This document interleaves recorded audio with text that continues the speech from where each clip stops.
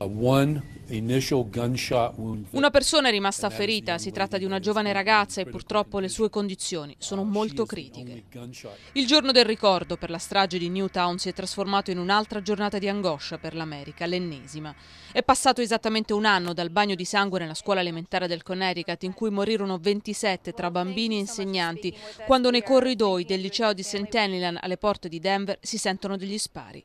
Scatta subito l'allarme, l'istituto viene evacuato, chi può riesce ad uscire, ma in un attimo tutta la scuola piomba nel terrore.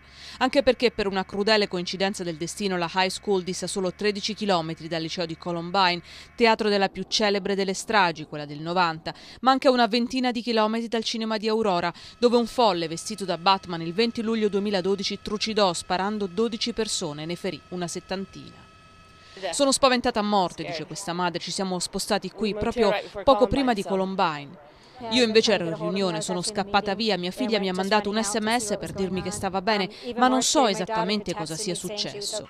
Questo in realtà nessuno lo sa, come al solito. La polizia comunica solo che dentro la scuola è stato ritrovato il presunto attentatore, morto, apparentemente suicida, con un colpo alla testa. È uno studente che forse voleva vendicarsi di un insegnante di cui i suoi vicini sanno dire ben poco.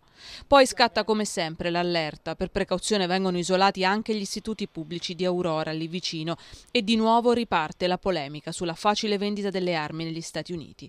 Ma sembra quasi un rituale, nemmeno Barack Obama è riuscito a vincere finora la sua battaglia contro le lobby delle armi, nemmeno sull'onda emotiva della strage di bambini a Newtown. E quasi certamente non saranno queste nuove vittime a far cambiare l'opinione a un paese che non vuole perdere la sua libertà assoluta di comprare un'arma, anche un fucile, mitragliatore senza troppe restrizioni.